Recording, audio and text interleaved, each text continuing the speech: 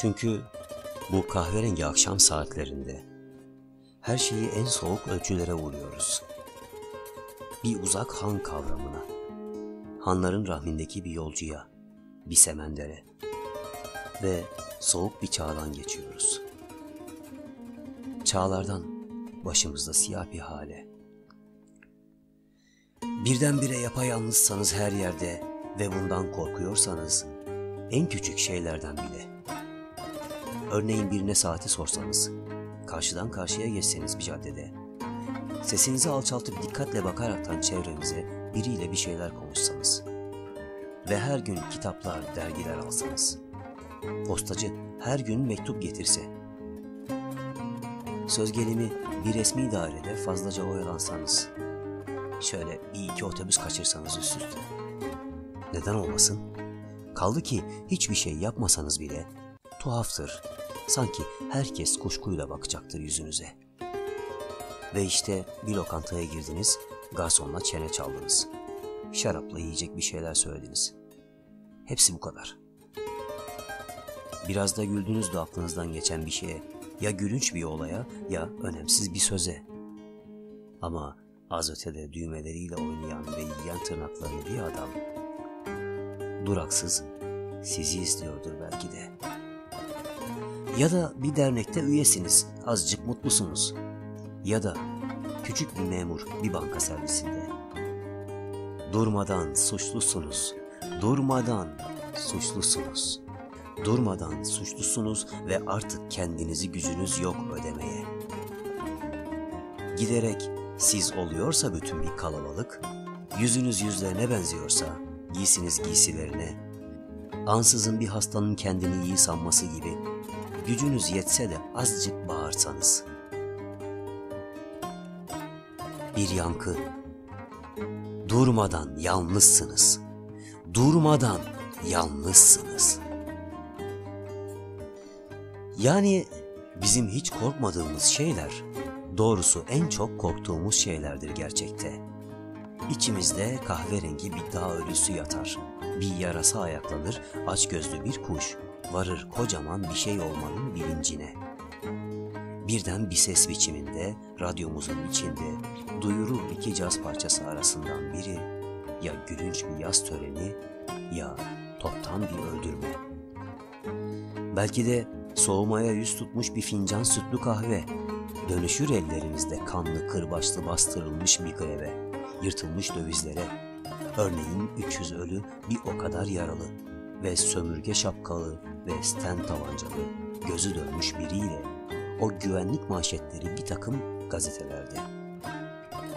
Yani bizim hiç korkmadığımız şeyler belki en çok korktuğumuz şeylerdir gerçekte. Ki bütün işkenceler, ezinler ve kırımlar damlayan bir musluktur yerine göre.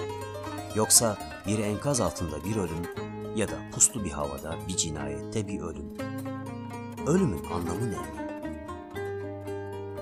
Sizin hiç korkmadığınız şeyler ya da hep öyle sandığınız beslenir kimi zaman da sevgilerle. Çok içten bir selamla ve içten bir gülümsemeyle.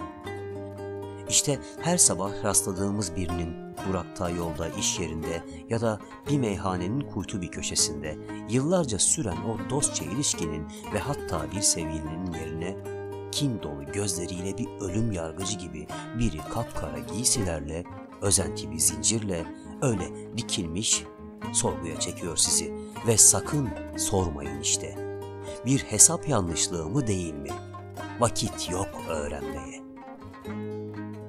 Canım en basiti arkanızdaki bir duvarın mineler, sarmaşıklar, o yaban gülleriyle örtülü bir duvarın ansızın kanlı kireçli bir taş yağmuru halinde korkunç bir silah olduğunu yerine göre.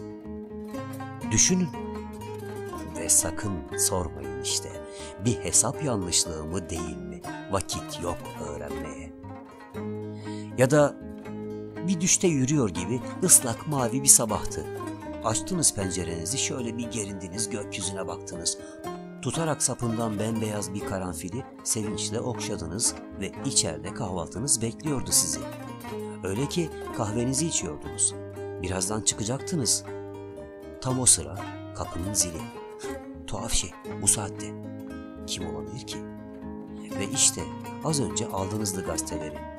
Öyleyse yaktınız bir sigara daha, kapıya yöneldiniz, bırakıp masaya kahvenizi, kilidi çevirdiniz. Açtınız kapıyı usulca. Bir kurşun. Birden o zamansız, o yersiz baş dönmesi. Hani av araçları satan bir dükkan vardı. İçi doldurulmuş çubukllar, kardelen çiçekleri. Bir kurşun. Geçerken uğrardınız iyiydi cana yakındı. Yeleğinden çıkmazdı elleri. Bekardı, umutsuzdu, yalnızdı. Ve belki bir kurşun. Sormayın kendinize. Bir vahşet mi bu, değil mi? Düştünüz sırt üstü yere ve işte avlandınız. Sadece avlandınız. Ağız değil, bilmez söylemeyi. Ötede ıslak mavi bir sabahtı. Gökyüzü, bembeyaz karanfiller, pencere, kahveniz, masanız, kahvaltınız. Bir yankı ve bütün çay fincanları. Durmadan yalnızsınız. Durmadan yalnızsınız. Gün bitti. Saat kaç? Bitecek mi bir gün savaşımız? Hak edilmiş hüzünlerimiz olacak mı bizim de?